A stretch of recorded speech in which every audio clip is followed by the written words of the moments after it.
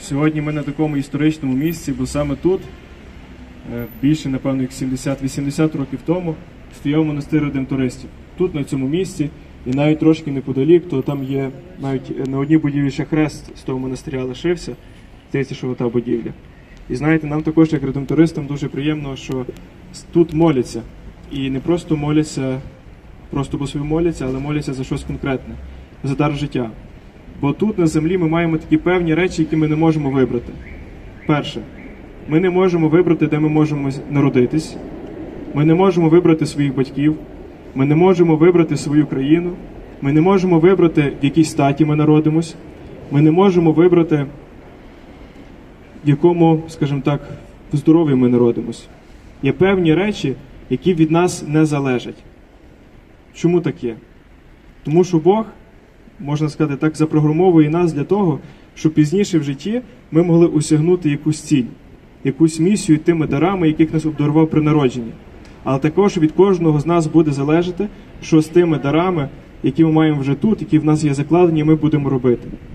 Бо від нас залежить зберегти життя своє чи погубити. І не тільки своє. В контексті е, сьогоднішнього молебню, то можна говорити, що не тільки своє життя можемо зберегти, а можемо зберегти життя іншої людини. Від нас, які молимось, залежить також дуже багато. Бо молитва впливає на наш розум, на наше серце, зм'якшує і веде до Бога. Тому при цій сьогоднішній молитві стараємося молитися за тих людей, які зараз можуть робити вибір не в ту, не в ту сторону. І робити цей вибір повинні для добра, для того, щоб зберегти життя, щоб ті люди, які могли би народитися, принесли якусь Божу славу в цьому житті.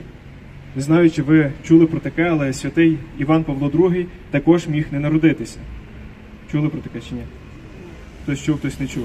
Святий папа, його мамі пропонували зробити аборт. Я не пам'ятаю, яка там саме була причина, але вона все ж таки послухалася голосу Божого, і що з того вийшло? Я вибрав тебе з утроби матері твоєї, говорить, пишемо, читаємо в Святому письмі. Тому стараємося в нашому житті Слово Боже тримати щось таке, яке є близько до нашого серця. І так як вагітна жінка, виношувати його в себе в лоні під серцем, для того, щоб інші бачили Бога через нас в цьому світі. Слава Ісусу Христу! А зараз продовжуємо молитися вербицю.